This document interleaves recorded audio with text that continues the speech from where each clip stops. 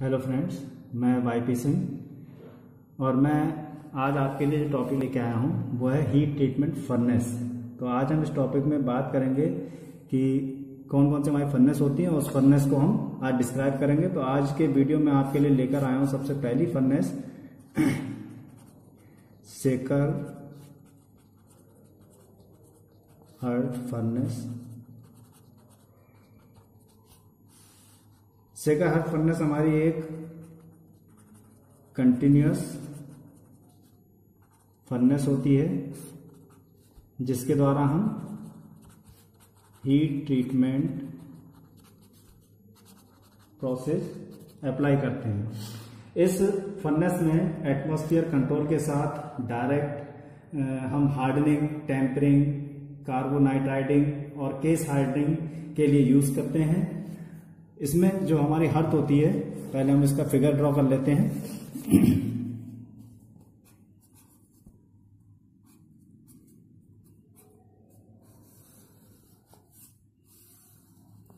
Figure से हम इसको इजीली इसका जो प्रोसेस है, उसको समझ सकते हैं।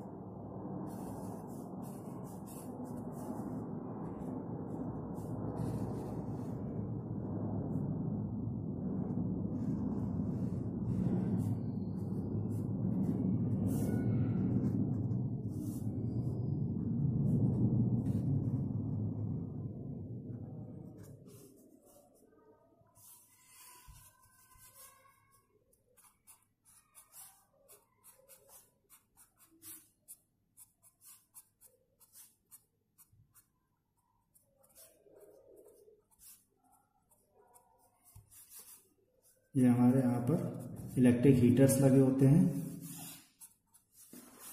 ये हमारा फर्निस चैम्बर होता है।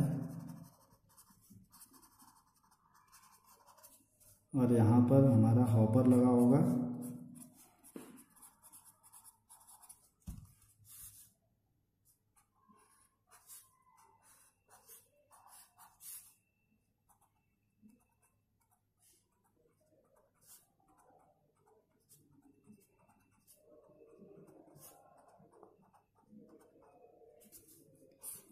ये हमारे सेरेटेड होते हैं।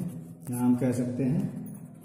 सौ एज होते हैं। और ये जो हमारी हर्थ है, ये हर्थ कहलाती है हमारी।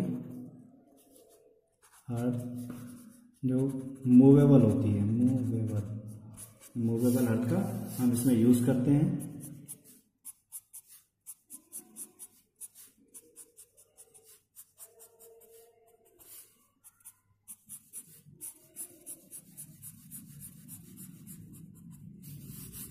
इसमें हमारा ये टैंक है कुंचिंग टैंक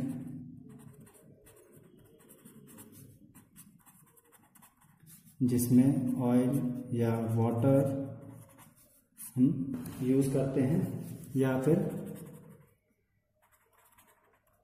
कुंचिंग मीडिया ये हमारी कन्वेयर बेल्ट होती है। जिससे हम मटेरियल को यहाँ से कैरी आउट करते हैं।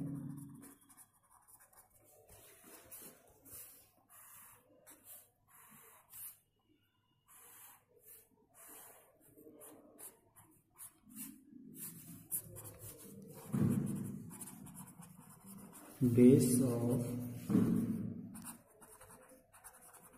फर्नेस तो ये हमारा फिगर है सिस्टमेटिक हमने एक फिगर बनाया है सिगरहट फर्नेस का।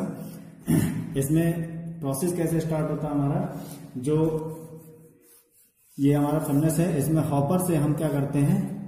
स्टील को फिल करते हैं और स्टील से क्या होता है, ये मटेरियल हमारा जो हर्ट मूवेबल हर्ट है मूवेबल हर्ट पे हमारा ये मूव करता है और यहाँ पर जो हमने सौ शो किया है, ये सेरेटेटेड हमारे लगे होते हैं, जो सौ टाइप के हमारे एज होते हैं, ये क्या करते हैं? इसके बीच में मटेरियल हमारा हीटर्स द्वारा मेल्ट होता है। मेल्ट होते ही ये क्या करता है इसमें? ऊपर अप डाउन करना स्टार्ट कर देता है।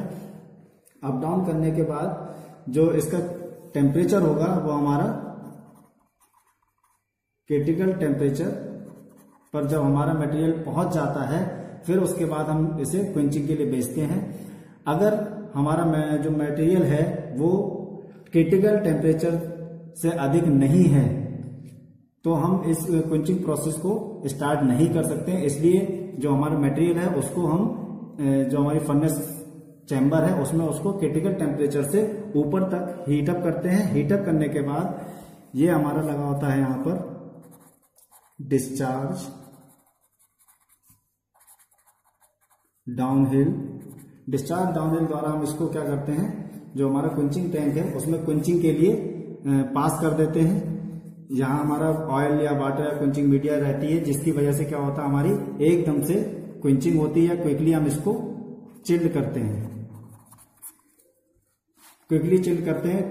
क्विकली चिल्ड करने के वजह से क्या होता है हमारा, जो austenite austenite light austenitize हो जाता है। ऑस्टेंटाइज हो जाने के बाद हम जो हमारा मटेरियल है, उसको इस कन्वेयर बेल्ट की सहायता से इसको कैरी आउट करते हैं, जहाँ इसको वॉश करके ड्राई करने के बाद हम इसका यूज़ करते हैं, जहाँ हम इसकी इस प्रोसेस द्वारा हम इसकी जो प्रॉपर्टीज़ होती है कैरेक्टरिस्टिक्स होती है, उसको चेंज कर देते हैं, यानी कि इसमें जो है हार्डनेस इंक्रीज कर देते हैं।